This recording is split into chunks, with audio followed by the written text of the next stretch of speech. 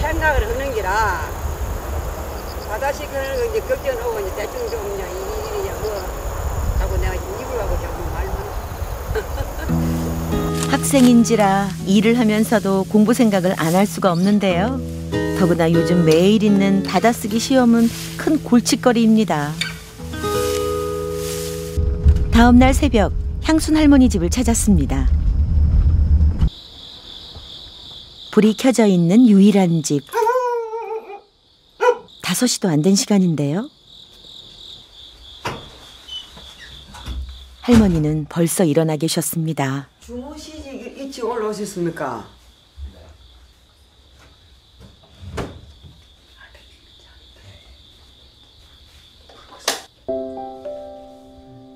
흐릿한 화장실 불빛 아래서 대체 얼마나 공부를 하신 걸까요?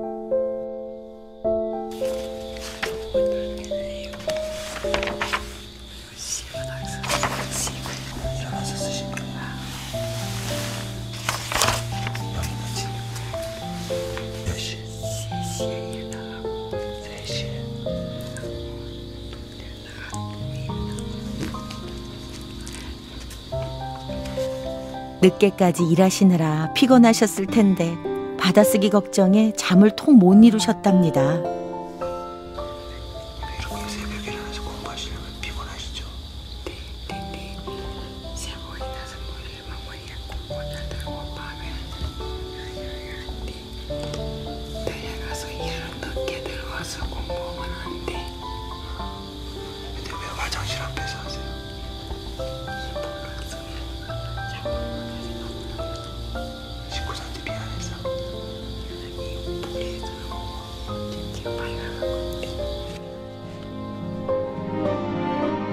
잠든 딸이 혹시라도 깰까봐 화장실 불빛 아래 책을 펼치신 할머니. 한 자라도 더 머릿속에 넣느라 1분 1초가 아까운 시간.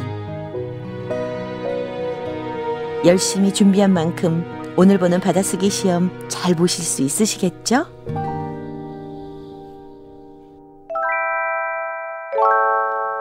어느새 날이 밝고 벌써 학교에 가야 될 시간이 다 됐습니다.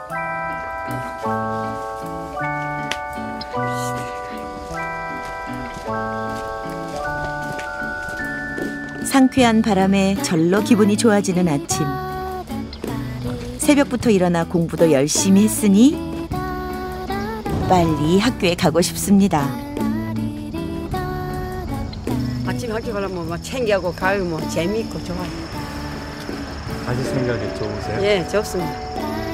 그래 알면 맨날 바다 일을 건데 일 안 하니까 좋은 거죠. 일하는 거 수월고 오전에 이제 뭐 또 이제 뭐 숲하고 공부하고 뭐 이런 거 있잖아.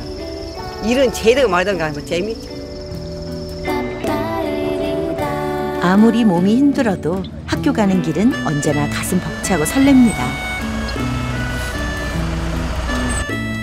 학교에서 제일 먼 동네에 사는 향순 할머니가 탔으니 이제 곧 있으면 같은 반 친구들도 만나게 되겠죠?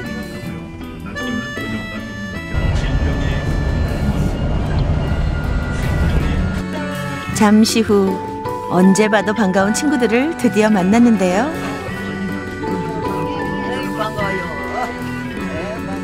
짝꿍은 여기서도 사이좋게 나란히 앉았습니다. 오늘은 또 어떤 일이 기다리고 있을까요?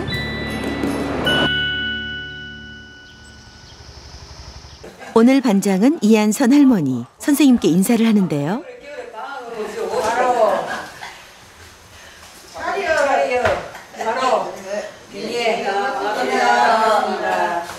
맨날 차리의 소리가 안 나와서. 우리 우리 안 나와. 맨날 뒤에서 안 나오니까 말이 안된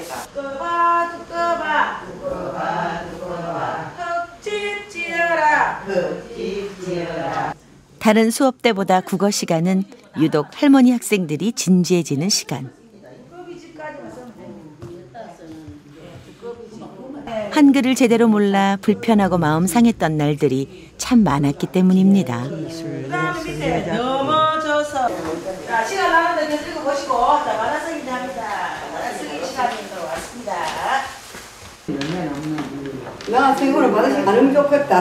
받아쓰기 시험은 영 자신 없는